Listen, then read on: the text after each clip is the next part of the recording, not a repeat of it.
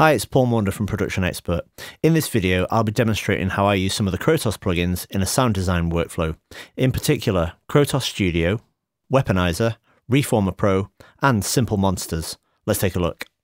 Here we've got a short action sequence. The first thing is to add the ambience.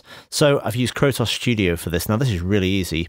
I've gone into the ambiences section. I've chosen a preset called Basement, started it, and the good thing about this is you can perform the sound in real time in the sense that you can vary between all of these attributes. So generator, air, you got on the other side washing machine or water pipes. I went through and performed that and then just dragged the finished audio to a track, which is exactly what we've got here. Sounds like this. That's our background ambience. Next, I added the important weapon sounds. And of course, I've used Weaponizer for that. So there are a few different gunshots in this, and I've used a combination of the M4 automatic preset on one of them and the M16 on the other. Let's take a listen to the guns.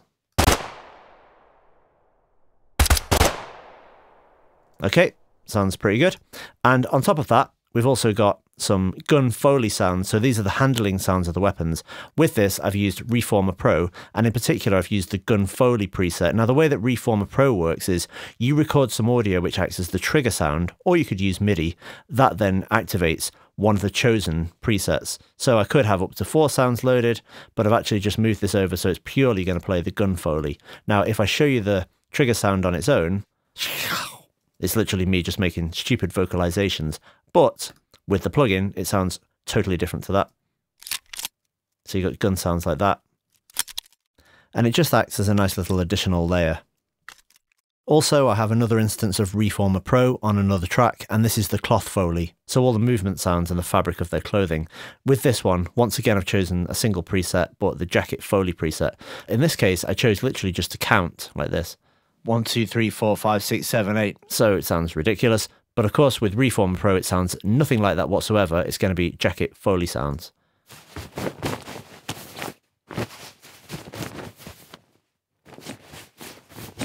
So by counting, I was just using that as a, a, means of activating the sound from Reformer Pro. We've got some footsteps. I've actually used Weaponizer for this, and I've chosen the Running Shoes on Concrete preset. This was triggered by MIDI.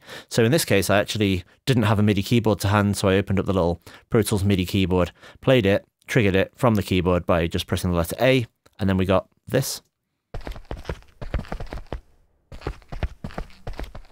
Okay, that's sounding good. And on top of that, adding yet another layer, we've also got the zombie sounds. Now, these were just vocalizations I quickly recorded. So on their own, with no processing, they sound like this. Okay, that's my best impression of a zombie. But of course, we know zombies don't just sound like that. Usually there's a little bit more to them. So in this case, I've used Simple Monsters. Now, this does precisely what its name suggests. It lets you very easily create monster sounds just by recording some vocalizations yourself, choosing some presets or adjusting the settings in the plugin. And now it sounds like this.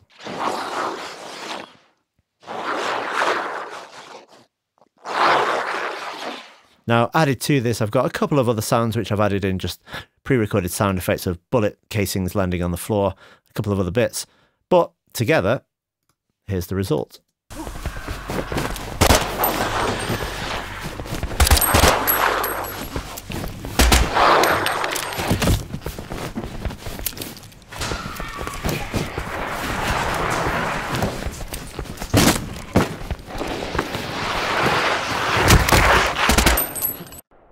And that's a good result achieved very easily using four Krotos plugins, Krotos Studio, Weaponizer, Reformer Pro, and Simple Monsters. For more information, head over to krotosaudio.com. Thanks for watching.